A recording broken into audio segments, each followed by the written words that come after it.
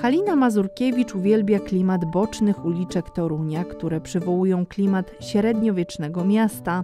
Z wykształcenia jest fizykiem i bibliotekarzem, ale wybrała zawód przewodnika.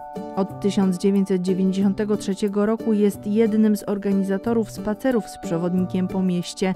Jej wielką pasją jest praca z dziećmi.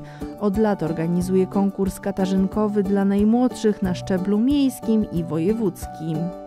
Stawiam na młodzież i na dzieci. Uważam, że dorośli ile wiedzą, tyle wiedzą. Jeżeli chcą, to się sami nauczą.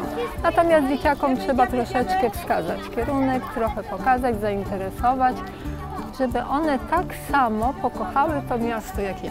Halina Mazurkiewicz jest prezesem oddziału przewodnickiego PTTK i prezesem Koła Przewodników. W 2018 roku zainicjowała i zrealizowała pomysł uhonorowania wybitnego toruńskiego fotografika Olgierda Gaudyńskiego. Ma też marzenie, aby brama klasztorna odzyskała dawny blask. Może kiedyś spełni się nie tylko moje marzenie, ale również wszystkich przewodników, którzy oprowadzają grupy. Jeżeli uzyskamy bronę tej pięknej bramie klasztornej, to będziemy szczęśliwi, a turyści zadowoleni.